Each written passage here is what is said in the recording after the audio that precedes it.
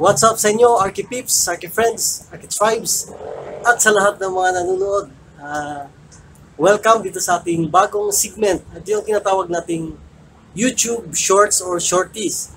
Kung saan, uh, inanyayahan namin kayo na mag-send or mag-comment ng inyong mga questions about architecture, construction, and home improvements.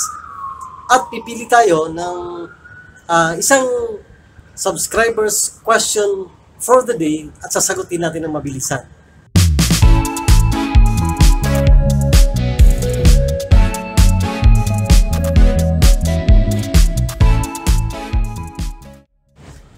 Alright, para dito sa ating pilot episode, wow, meron na tayong pilot episode.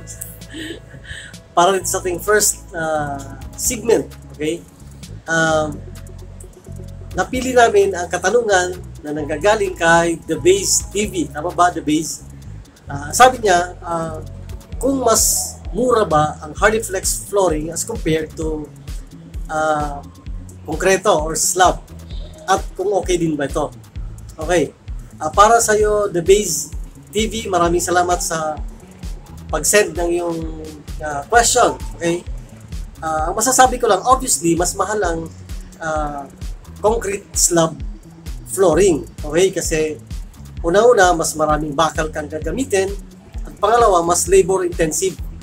Uh, mas matagal gawin.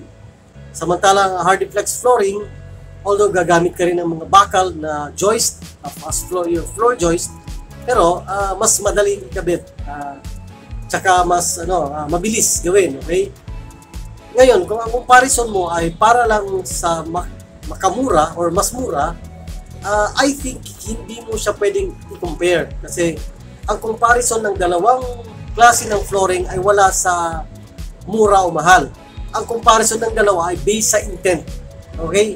Kung saan mo siya paggagamitin. Kasi uh, kung ang basihan ay para lang mura, edi dapat lahat na tayo doon tayo sa mura. Siyempre, di ba? Lahat tayo gagamit na ng ng Hardiflex flooring kasi mura. Pero that's not the case. Ang comparison nila ay base sa intent or function ng yung flooring. Okay? Kung ang intent ng flooring mo ay lightweight at temporary, yon ideal gamitin ito, yung ano, yung Hardiflex flooring.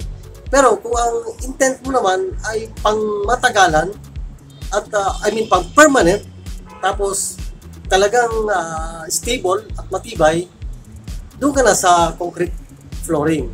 Either of the two pwede mo siyang gamitin. Ang ang value ng bawat uh, flooring ay base dun sa intent or function ng paggagamitan. Okay? So, that's all and see you sa mga next episodes. God bless!